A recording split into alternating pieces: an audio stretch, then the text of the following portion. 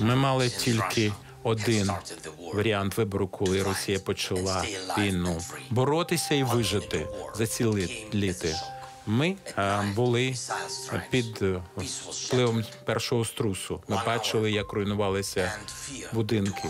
Був час страху, але він був недовгий. Ми почали думати, хто нас підтримує, хто на нашому боці. І ми згуртувалися. Ми об'єдналися. Ніхто не втік, ніхто не здався. Ми залишалися по своїх місцях. Наші вояки б'ються хоробро на землі, на морі, кіберпросторі, повітрі. Ми мали перші втрати, перших загиблих. І ми потім перестали вже рахувати авіабомби, ракети, що прилітали від росіян. І ми почали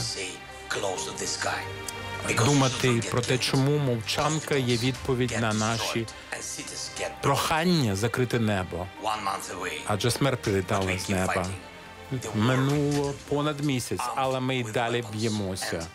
Ми маємо зброю чи не маємо зброї, але битися доводиться. Ціла нація збройно і мирно своєю працею бореться за наше життя, життя вільне, життя майбутнє для всіх українців. Місяць тому перед війною ми жили зовсім в іншому світі. Добре, що ми залишилися, але того світу вже немає. Світ став інакший. Тепер усі, усе людство думає, що зробити з Росії. Ми бачимо, що політики виявляють остров, але народи, що виступають одностайно, можуть разом зупинити цю війну. Отже, ми і далі маємо тільки один варіант вибору. Найперше врятувати Україну, зберегти свободу в світі. Це російська війна проти волі, проти свободи.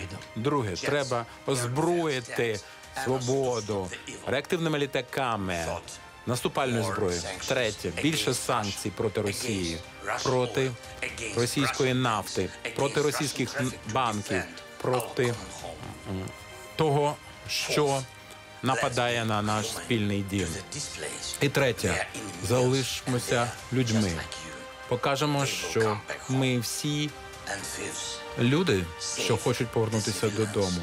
І п'яте, треба оборонити наші міста, врятувати людей, що залишаються там гуманітарними коридорами, вивести тих, хто потерпає від війни.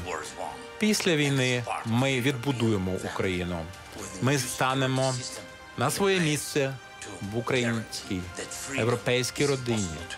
Ми побачимо і покажемо, що свободу не вмирає. Покажімо одному чоловіку в Москві, що інших варіантів немає. Слава Україні!